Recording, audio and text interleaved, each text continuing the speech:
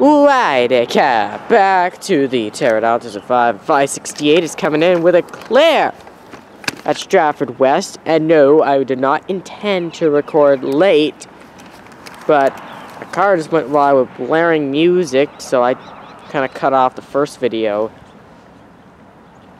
Because, uh, you know, uh, YouTube is not nice when it comes to music and videos. Uh, music that is not copyright free, so,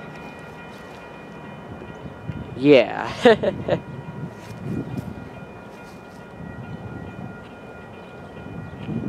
And I'm kind of wondering here, is 2277 like the last GMTX GP38 on CN? Like, is it the last one? Because I wonder, be because all the other uh, GMTX GP38s have now been re kind of done. Like that X-Crex I caught at jo uh, Komoka a couple weeks back.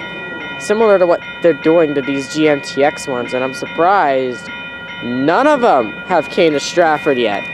But I'm sure that'll eventually happen.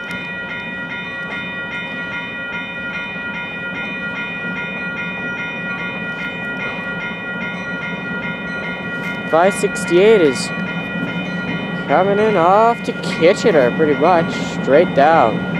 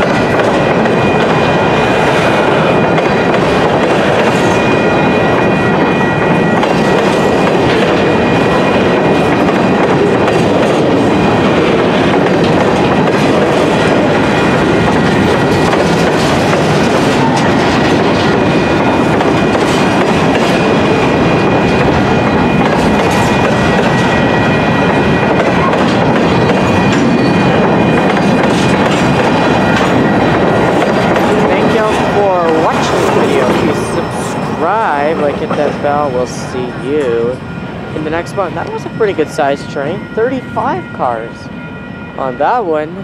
See you later.